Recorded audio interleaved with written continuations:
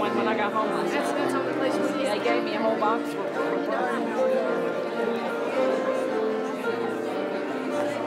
I always get aggravated on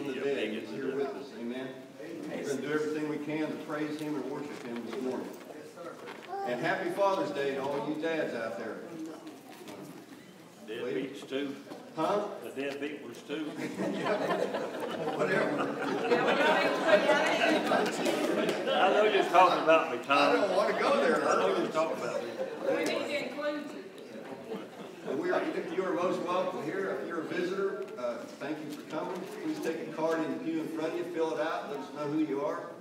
And if anyone has a prayer request, uh, please do the same. And uh, we'll worship the Lord. Hey, we got a big week coming up. Uh, VBS, uh, Hunter's going to come up here right now. He's going to work his way up.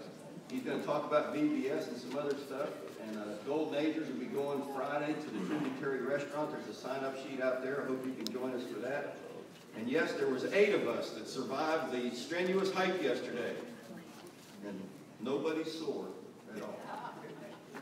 Amen. All right. All right, first thing, VBS. Anybody that has free time tomorrow night about six thirty, I'm gonna be setting up and getting everything finalized with the setup here in the gym and in the church. So if you're available and wanna come and help, that would be appreciated. Again, it's at six thirty, so anybody can help, that would be appreciated. Uh, it starts Wednesday night, it'll be Wednesday, Thursday night, and then it'll end on Sunday morning during church. So it'll be a neat thing, to get to do some stuff for you guys, so it'll be really neat. After church, I need to meet with a couple of you guys that stayed last, last time I was here and met about helping. There's a couple of things I need to run by you still. So if you can meet with me, I'll try to be here quicker than I was last time, so we can get out of here. Uh, second thing, I need Summer Maggard to come up. She was a graduate, also graduated high school, but she wasn't here that Sunday. So we'll give her her ceremonial stuff today.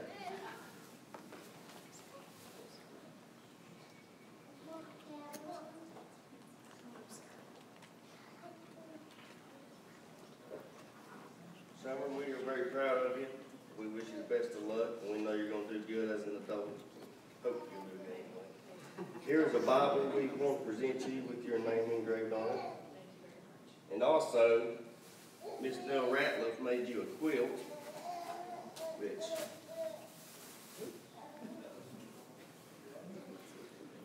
I didn't show these off last time, and I really wished I would have. But Nell does an excellent job with her quilts. So this is Summer's graduation quilt. Like I said, all the other graduates got one of these. She does a great job. She works really hard on it, and we appreciate her very much.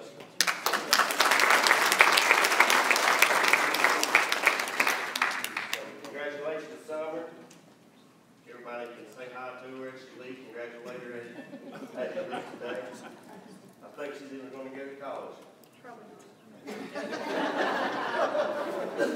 Thank you, guys.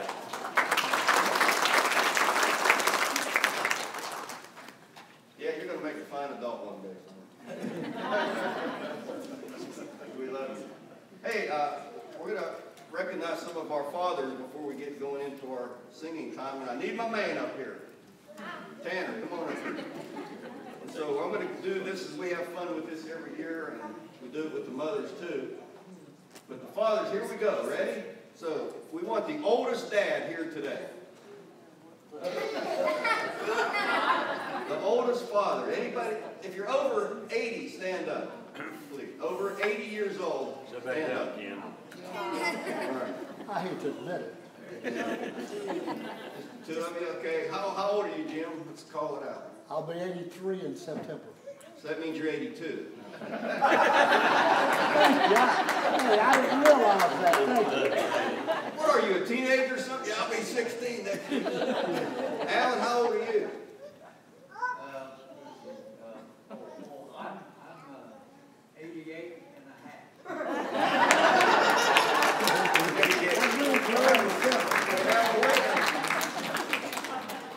okay, now next one is the newest dad. I mean the, the dad with the youngest child recently born.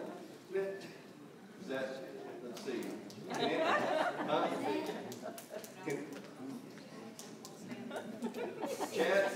can anybody beat Ki- Chad and Cameron?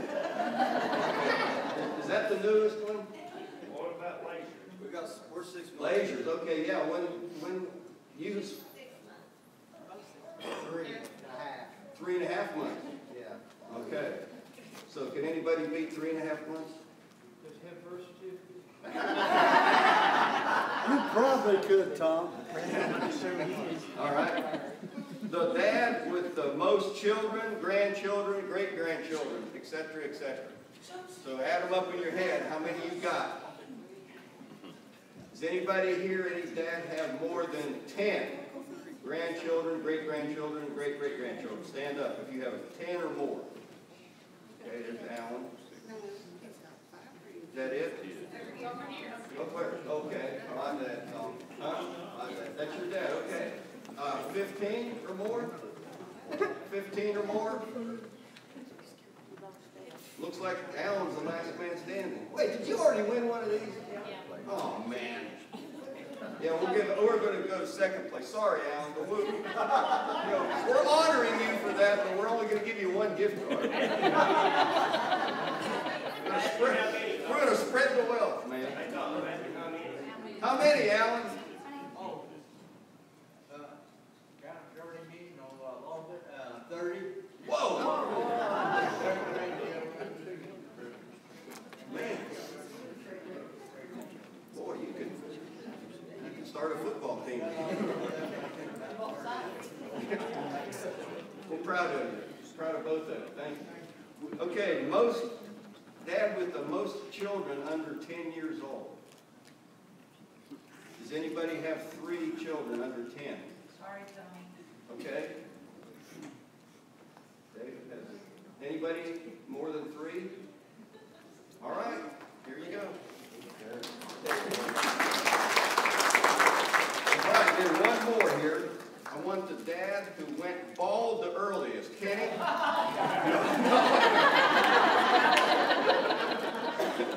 All right.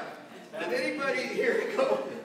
Kenny, how old were you when you sort of, you know, lost your hair? Huh? Eighteen. Can any, Chad, can you beat eighteen? About 25, 26, so Chad? I'm only 30 now though. Now you compete. Huh? I said, I can compete with the seventeen, eighteen. Yeah, but you got a gift card on you. Anybody? Kenny? All right, way to go. And this is, by the way, this is a gift card to Lowe's. I figured the dad would appreciate that more than Dunkin' Donuts or something. I got one more here, and that's for you, Tanner, for helping me out. Right. And one more thing before Charlie comes up, uh, the youth will be handing out something for all dads today, and it's really cool. It's a, a dollar wrapped up in a, in a little folder. And what I want you to do with that, dads, I want you to keep that, put it on your mirror, in your car, somewhere, and every time you look at that, you remember your children and say a prayer for them. It's really a neat thing, and I thank Connie for putting these together. That was a lot of work. So every dad gets one of these on the way out today. So God bless you all. Okay, Charlie. Well, good morning. Morning. I hope I'm around sometime, Alan, when, that I can be the oldest dad. Maybe that'd be all right. Good thing to hope for anyway. Okay. Hey, let's all stand and sing. This is the day. Here we go.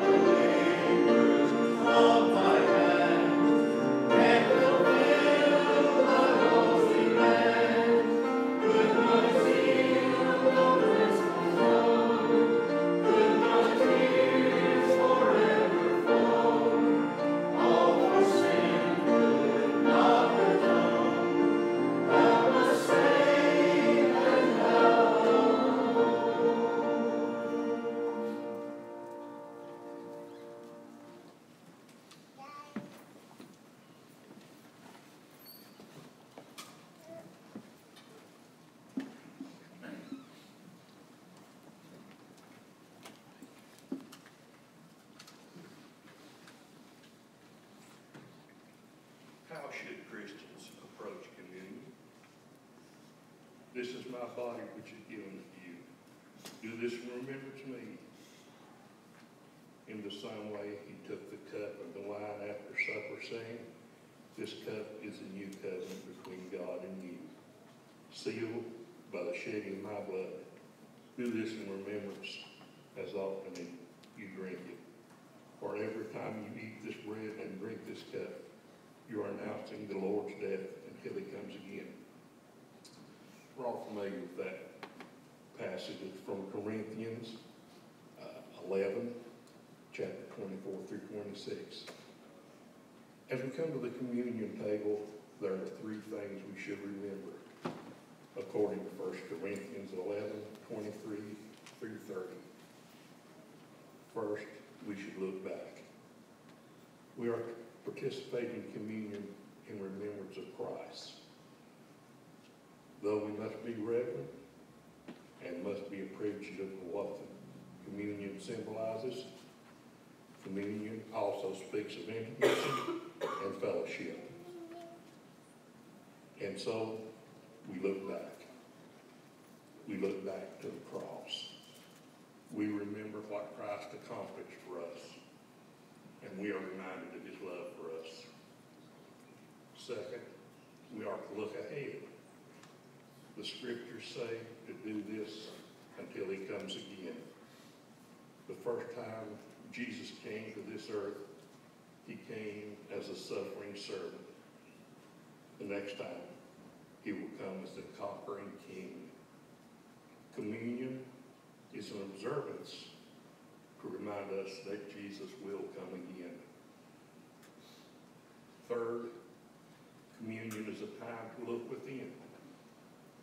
We are to look within and ask the Holy Spirit to show us any areas of our life that may not be pleasing to God. Once we acknowledge these areas, we are to repent of these sins. To fail to do so and then take part in communion is to eat and bring damnation to yourself. As the King James Version reminds us, or it is to eat and drink, not honoring the body of Christ.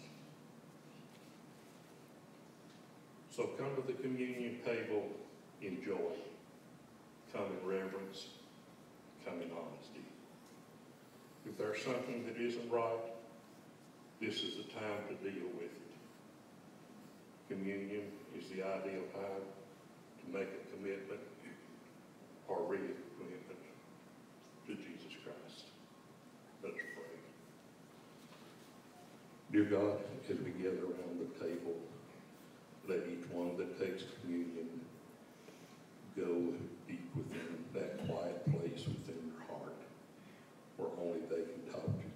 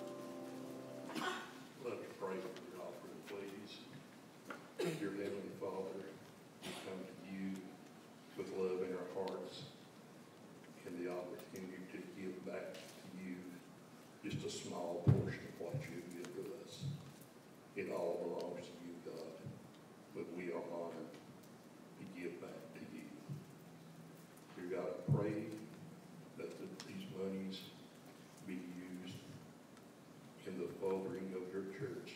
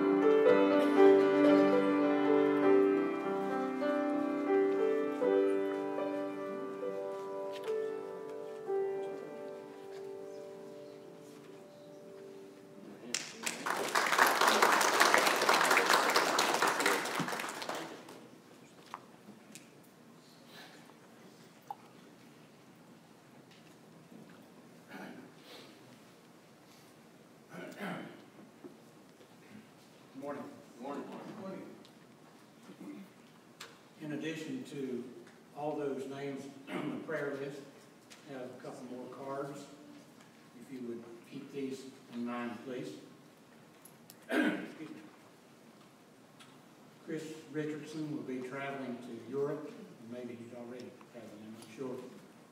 Ralph Wilson, that's Katrina's boss, uh, is having heart surgery Wednesday.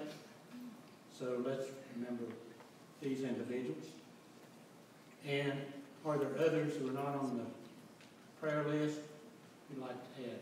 I have one. Please pray for Alyssa Howard. She's four years old. She was kidnapped by her mother this morning at church in Mountain City. Melissa? Alyssa. Alyssa.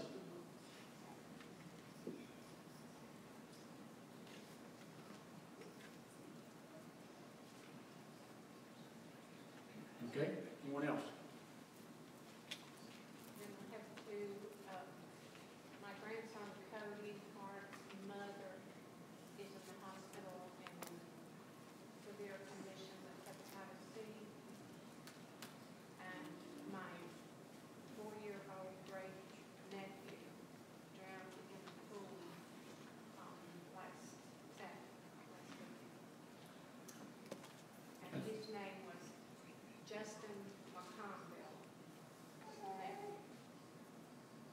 Justin McConville, M-C-C-O-N. Justin McConville. yeah, Nikki Peterson is my grandson's mother. Nikki Peterson. And that first name you gave a while ago was Cody, Uh, It's Cody Hart, Nikki Peterson is his mother.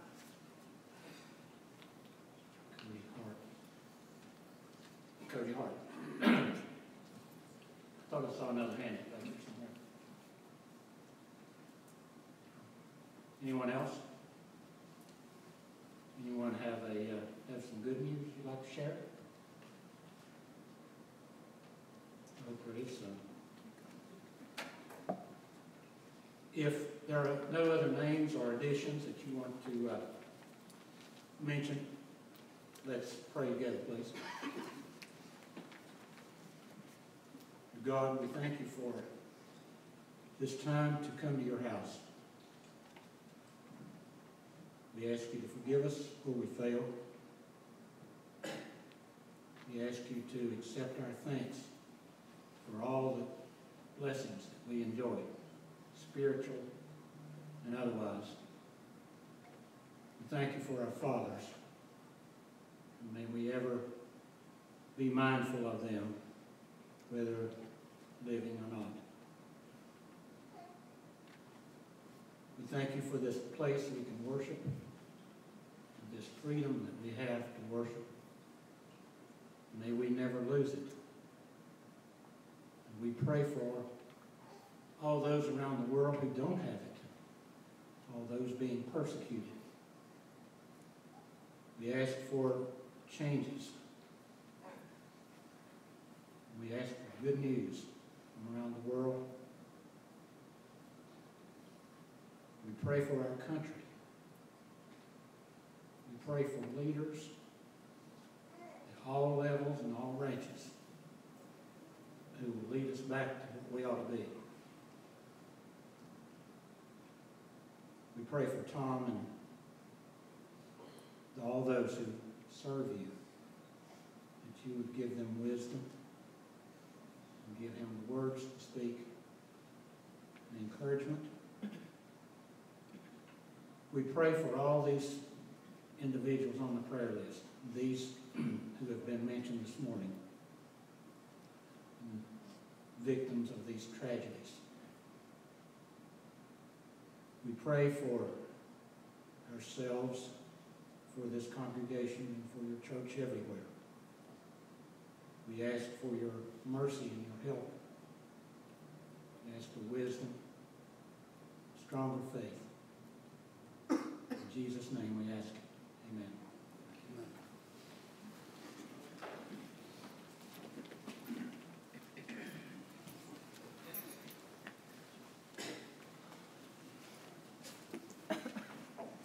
Well, good morning again. Morning. Uh, Lisa? Did you want to sing a song? Okay. Lisa asked if she could sing a song, and so if she's gonna do that right now, I'm sure we'll be blessed by it.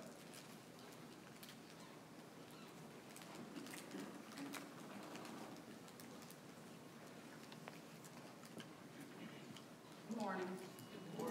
Um, this song is called Who Raised Me Up.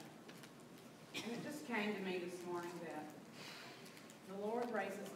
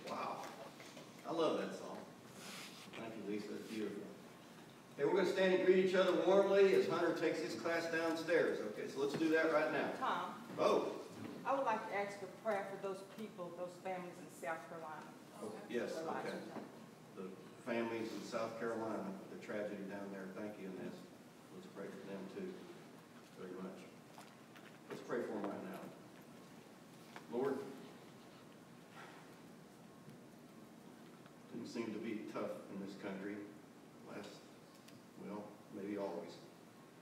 But you're with us and you bless us. But right now, Father, we pray for those in South Carolina that were affected by that tragedy in the church. Can't imagine, Lord, what that would be like. But Father, I pray that your spirit would be with the family members, that you would comfort them in every way.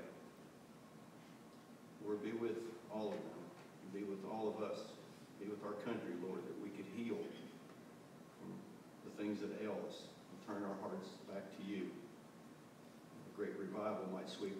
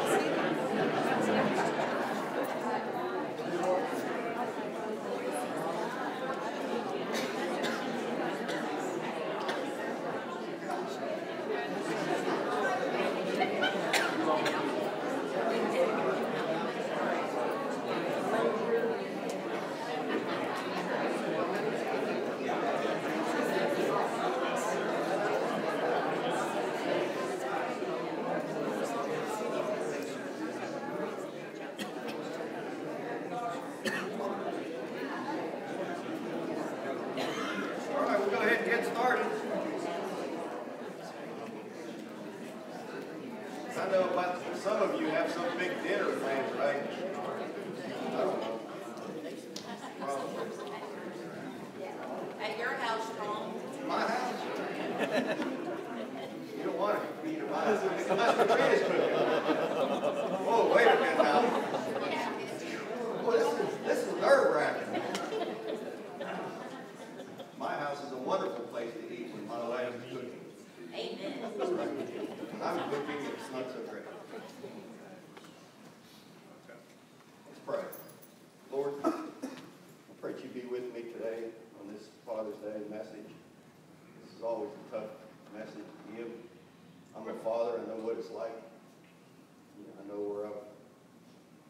Short a lot. But Father, I, I pray that you speak through me, that we'd all be blessed by your word. May the Spirit move in a mighty way in this place. May you be glorified in it, our Heavenly Father. We love you. In Jesus' name, amen. All right. Men and women are very different. Didn't think I was that smart. Words of wisdom. That's right. So, Father's Day, it's different than Mother's Day. It's supposed to be, because we're different. You know, I heard, uh, you know, when Chad and Christina had Cameron, a little while ago, I was really touched by this, but, um, Chad was looking into the bedroom of Cameron's room, watching her sleep there. He was just looking, and Christina came down the hall and saw him, you know, looking in at their new baby. And she was really moved by it. So she snuck up behind old Chad, put her arm through his arm, and says, honey, what, what are you thinking? What are you thinking? And Chad says, I don't see how they can make a crib like that for eighty-nine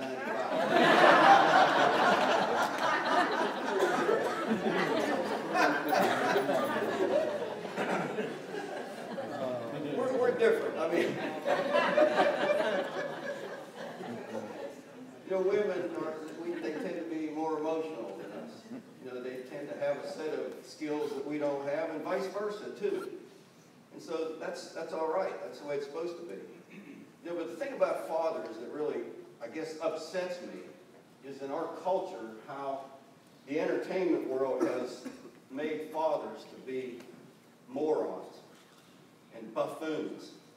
You know, almost every TV show of modern times. You know, it used to be different. You know, father knows best and leave it to beaver. The father was the wise sage in the home. Let's go ask dad. You know, but now fathers are they don't have enough sense to get in out of the rain on TV shows and movies. He's, a, he's an object of scorn and ridicule. Can't do anything right. So I think it's good to have a Father's Day. It's, it's good to lift up men who are fathers who have taken the role seriously. You know, of course we mess up. But there are lots of fathers who try hard to serve the Lord in their homes. Godly fathers. Men who are sensitive. You know, we're, we're, we're made out to be not so sensitive. You know, we're supposed to be strong. You know, we are tough. We are man. You know, don't cry. I tell you what, it takes a real man to cry sometimes. Because we hurt too. You can hurt a man real easy. And we're going to talk about that today. We're going to talk how to break a dad. And we're going to also talk about how to make one. How to make one. We're going to look at a, a, a parable today, very familiar, very familiar parable. We, we call it the parable of the prodigal son. But I really think it's more of a parable of the faithful and loving father. Because I think he has a central role in this story, and that's what we're going to talk about today. So let's start with the first couple of verses of, of that parable in Luke 15. It said, Jesus continued, There was a man who had two sons. The younger one said to the father, Father, give me my share of the estate. So he divided his property between them. Not long after that, the younger son got together all he had, set off for a distant country, and there squandered his wealth in wild living. So we're going to take those three verses and we're going to look about how to break a, a dad, how to break a man, how to break his heart. So we're going to look at some things that this son did in this parable of how he broke his father. First of all, he withdrew from his father's love. He really did. the younger son said, Give me my share of the estate. And not long after that, he took off. Now, there's nothing wrong with a child leaving home. No, it's normal and it's natural to do it. It's, it's what's supposed to happen. But we get the impression here in this story that this son left prematurely. You know, what really broke the dad's heart was this kid's attitude towards his father. He couldn't wait to get out. He couldn't wait. You know, he wanted to get away from dad as quick as he could and as far away as possible. He was thoughtless. He was tired of waiting for his dad to die to get his inheritance. He was tired of waiting for his father to divide it up. And he didn't care how it made dad feel. He wanted out. He rejected his father's love. That's sad. That's very sad. So, sons and daughters, if you want to make dad miserable, if you really want to break his heart, just make it clear to him by your actions and your attitudes and your words that you don't care about his love, that you don't want to be around him. When he puts his arm around you, jerk away. You know, jerk away from him. When he tries to give you guidance, sneer back at him. Oh, you're just an old man. You're old. We don't do things like that anymore. Just make it clear when you're out in the crowd that you're embarrassed by him, that you don't want to be around him. When you have an argument, tell him you hate him. Run away. You'll break his heart. You might think he's tough. You might think he doesn't have feelings, but he does. And you'll break his heart. The second thing this kid did is he wasted what his father gave him. He wasted it. You know, a lot of times, especially in a second generation of a wealthy family, it's hard for them to learn how to handle money. They either squander it, spending freely until there's nothing left, or they're so miserly with it that they hoard it and they worship it. Very rare is the person who can inherit money with the proper balance of appreciation and generosity. You know, if you don't believe that, just look at the thousands of athletes in this country. You know, young men and women, especially men who grew up in, in a ghetto with very poor circumstances, and all of a sudden, you know, they become millionaires overnight because they can do good at whatever sport they're in. And most of the time we read about how it ruined them, how it just tore them up, and they got involved with drugs, and, and they didn't know how to handle the money. You know, you can make dad miserable by having the wrong attitude towards material things. You know, most of us fathers, which I'm one, we love to give things to our kids. We do. We love to see them light up when we give them a new toy of some kind. And we like to hear them say, thanks, Dad. But it's a sad day. It's a sad day when a dad realizes that he's given his kids too much. Sad day. Very sad. It's a sad day when he realizes he's made his children greedy or materialistic. Even when he realizes they have no appreciation for what he's done for them and what he's worked so hard to give them. You know, in this era of wealth, there's lots of kids who think nothing of wasting their parents' money. And often the time, this type of behavior among children is dad's fault. Many dads grew up having to scrimp, you know, in poverty and save and, and get by with whatever they could. And so when they grow up, we say, I want to give my kids better than what I had. And there's nothing wrong with that. But sometimes we go overboard or we give it to them too soon and we create unappreciative offspring. James Dobson wrote this. We are so concerned about giving children what we didn't have when we were growing up that we neglect to give them what we did have. Maybe we didn't have material things, but we did have an appreciation for the value of things and the willingness to work for it. How wise. You know, my dad, my dad's been gone now 11 years. My dad was a plumber, I've told you that before, a working blue collar man. Didn't have health insurance that I know of. Never went on a vacation with my dad. He worked all the time. Every day he'd get up and work and he'd come home and have another job and work. I've seen my dad walk out the door at 6 o'clock in the morning sometimes in such pain with his shoulder and bursitis that he couldn't hardly move. But he went out the door because he had to provide for his family. He's my hero. He's my hero. And I keep thinking to myself, you know, what my dad gave me, for me to waste it or squander it would be a sin. A sin. Third thing that this boy did, he violated his dad's moral values. It says he squandered his wealth on wild living. Now we know this man lived contrary to the father's values because when he came back, he said, I've sinned. He knew he had. And every godly father wants his children to know the Lord. Amen? Amen. We want them to know the Lord and to live by biblical standards. We want them to accept Christ as Savior one day. We want them to be honest. We want them to be sexually pure. We want them to stay away from alcohol, drugs. We want them to marry a Christian. We want all these things for our children. You know, an unbeliever will say, each child needs to decide for themselves what is important for them in their life. Oh, really? Well, then that's what they're going to get. Because the world's going to press upon them, you know, do whatever you want. Do whatever you want. Be free. Don't impose these old-fashioned values on your children. Times have changed. You know, that's what the world says, but a Christian dad, a Christian dad has been commissioned by the Lord himself to lead his children to respect Christian values and not to choose their own way, but to choose God's way. That's what we're here for, people. To teach our children to choose God's way. The teaching of Scripture are true. And it's not to satisfy the ego of the father, but it's for the child's sake that we teach things like that. We want our children to obey those standards, and it breaks a godly dad's heart to see his child, whether grown or young, flagrantly violating his moral teachings, treating his values and principles and beliefs with contempt. And when this, father, when this happens, a dad naturally asks himself, where did I go wrong? oh my goodness, what did I do wrong? You know, but a child has a free will also. We do the best we can. So if you want to break dad, you know, those are the ways to do it. That's the way this kid in the parable did it. That's how we break it. And you know, and it's interesting. That's the same way we break our Heavenly Father's heart too. Don't you see? It, it's the same way.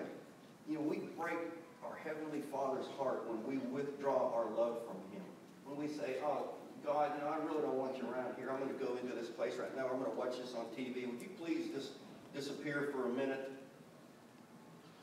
You know, when we don't want to be around Him, when we'd rather be somewhere else, when we get excited about a ball game or a picnic, but when we have an opportunity to spend some time with the Lord, you know, we come into His presence like we're going in to have a root canal or something. It's obvious we don't want to be there. That breaks God's heart. And we break his heart when we carelessly and without any thought whatsoever waste what he has given us. He's given us everything. Look around, we have everything. We live in a country, we have freedom, we have material things, we have food, we have shelter, we have clothing. You know, not only that, but he's given us his word. We have a Bible we can read and, tur- and, and turn to anytime we need encouragement. We have prayer. What a privilege to be able to talk to God anytime we want to. He's given us that right. The Bible teaches, brothers and sisters, we are completely free to enter the most holy place without fear because of the blood of Jesus Christ. And we break God's heart when we violate his commands.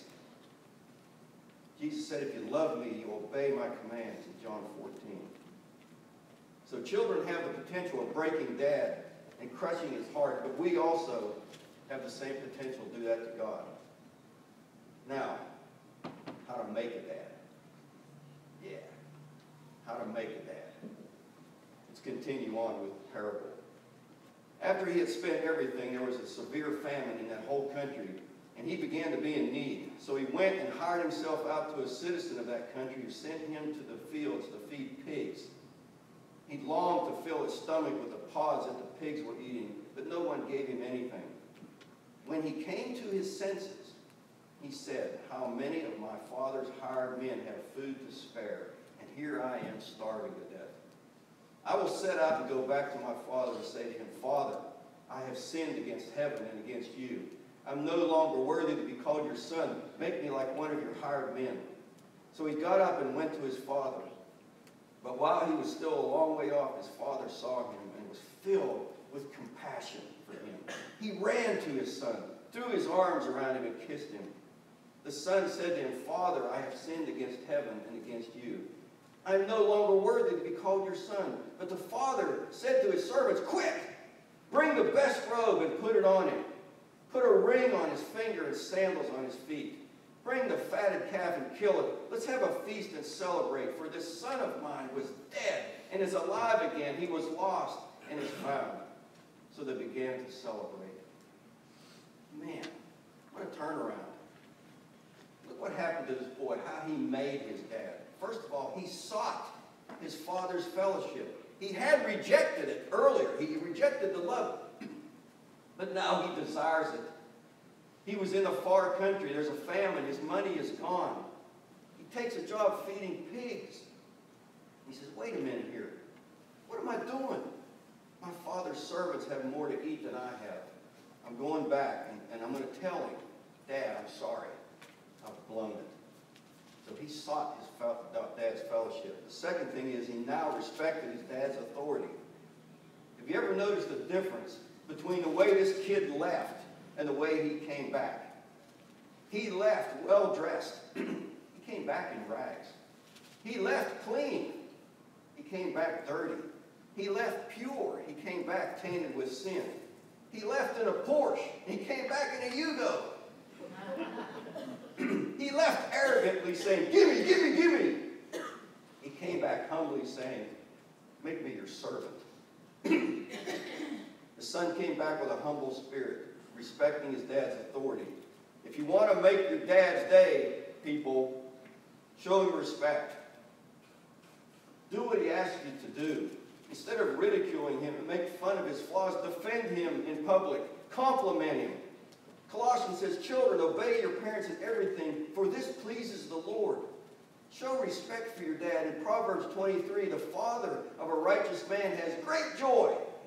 He who has a wise son delights in him. And this kid also had this, and this is another way of making your dad have a positive spirit. When the father saw the son humbly coming up the path, what did he do? He ran to meet him. You know, God is always anxious to forgive us too. Young people, if you want to bring joy to your father, have a positive attitude in your home. You know, many kids laugh and carry on with their friends, but the minute they walk through the door, it's like, they go up to the room, shut the door, you never see them again. Their countenance drops. It's like they're going to jail for a time until they can get out again, go back to their friends. They go to the room, they hibernate, they grumble, they complain, they're short with their parents. They don't want to go on vacation because you're square. You're a bore.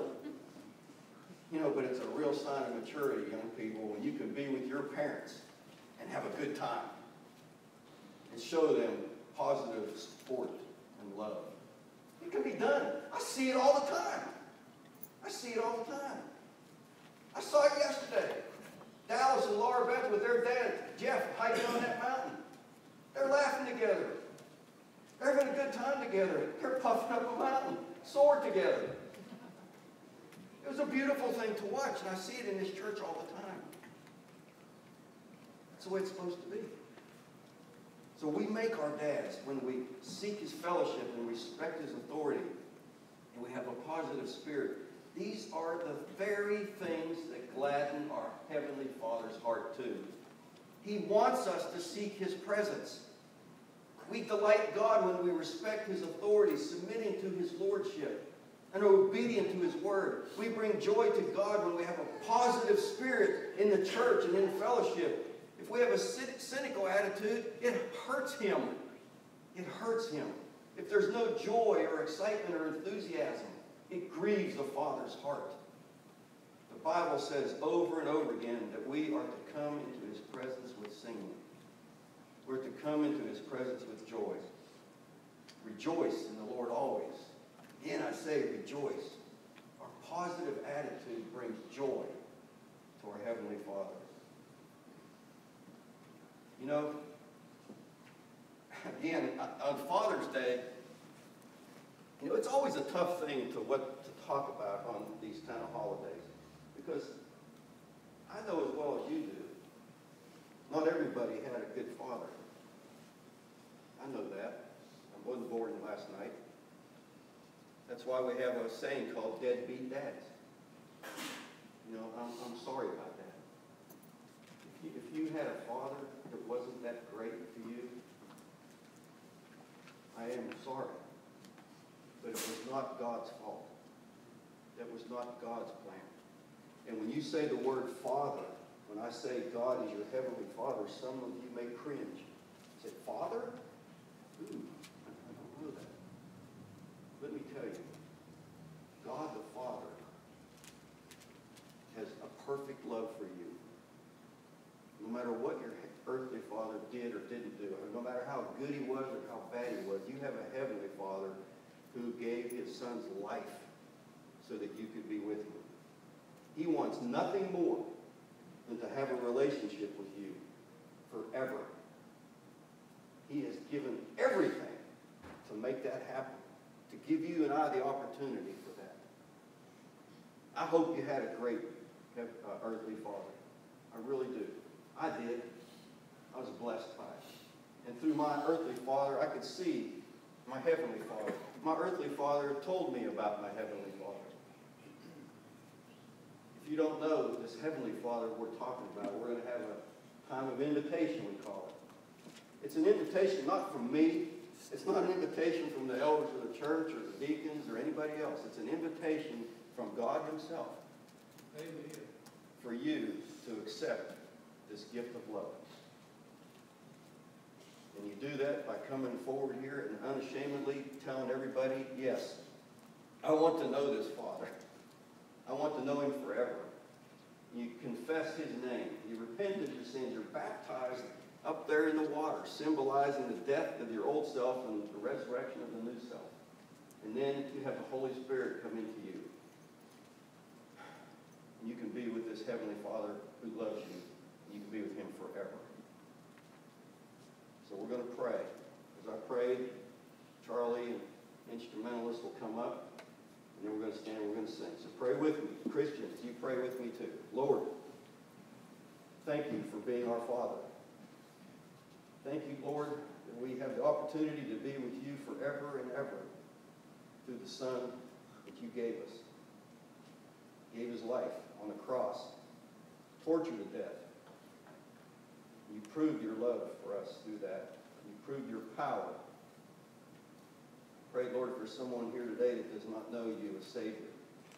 That this would be the day, this would be the hour, this would be the minute that they make that decision. So you be with them. Knock any walls down that are holding them back. Lord, I thank you for yourself and who you are. Thank you for loving me. But I'm not lovable. Thank you for all you've done. In Jesus' name, amen. Would you stand with me? Sing with me. If you have a need to make this decision, please come. Thank you. Right now.